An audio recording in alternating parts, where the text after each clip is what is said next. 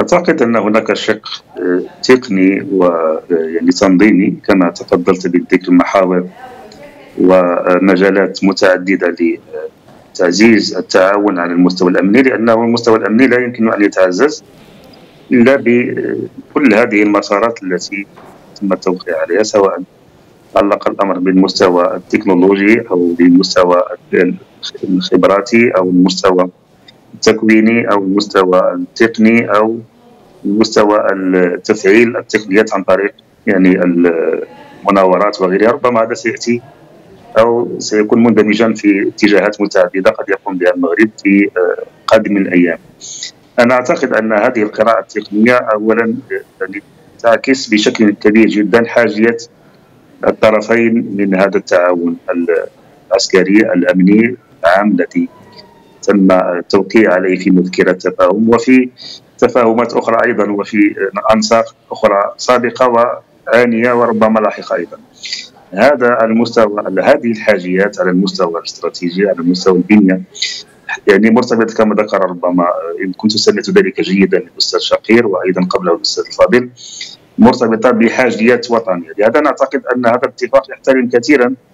أو يعكس هذا الاحترام المتبادل بين الطرفين. هذا هذه الندية إن شاء الله نقول في تنزيل هذه السياسات وهذه الواقعيه أيضا في تنزيل هذه السياسات. حاجياتنا على المستوى الواقعي على المستوى التطبيقي حاجيات استراتيجية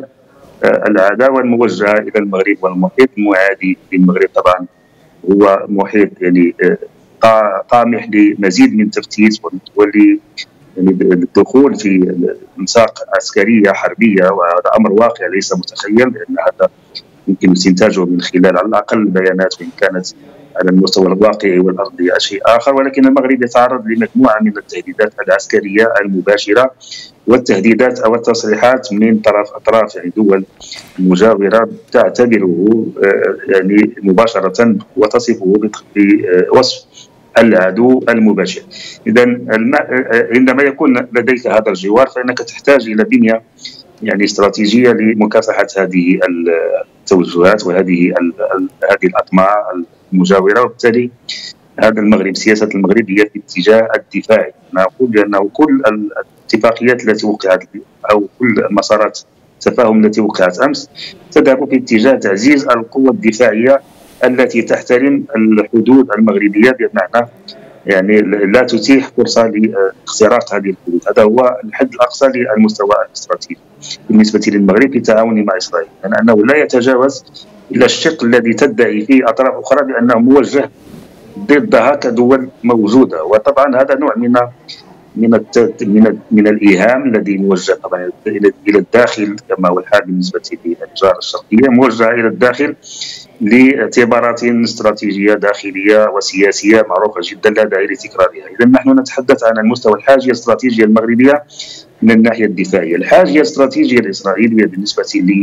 للادوار المغربية أعتقد أنها يعني تدخل اولا في شق أساسي عام يرتبط بما ذكره الأستاذ الفاضل قبل قليل باعتبار السلام آلية أساسية للاستقرار في منطقه الشرق الأوسط وبالتالي احترام كل المقومات والآليات التي تقوم عليها العلاقات المغربية الإسرائيلية في مقابل العلاقات يعني أو احترام الطرف والشق والحقوق الثابتة للشعب الفلسطيني وهذا الأمر الذي يسعى إليه المغرب الذي يصدره المغرب لإسرائيل كسياسة إلى على المستوى الأمني تدعم هذه الآلية آلية السلام على المستويات الاستراتيجية طبعا إذا كان هناك تعامل على المستويات أخرى طيب. أمنية يدخل في إطار حمايه المجال الاستراتيجي الذي يجعل حل الدولتين حل أساسي بالنسبة طيب. للمغرب وبالتالي من هذه الخلاصة أو سمحت لي من هذه الخلاصة يتبين بأن هذا الاتفاق ليس موجها لا ضد الطرف يعني على مستوى الشرق الأوسط وخاصة الطرف الفلسطيني بالنسبة للمغرب ولا ضد اطراف في منطقة شمال إفريقيا هو طرف هو اتفاق أو هو تفاهم على مستويات أمنية داخلية لتعزيز مسارات السلام على مستويي شمال إفريقيا والشرق الأوسط